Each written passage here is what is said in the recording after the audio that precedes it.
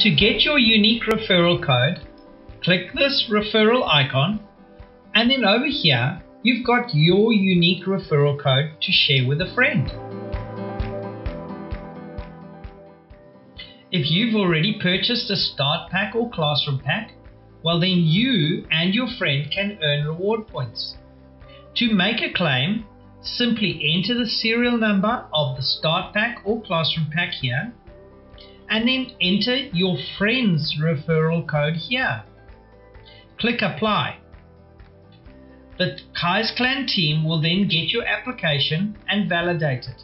Once approved, then you can use those points to purchase other products on the Kai's Clan web store.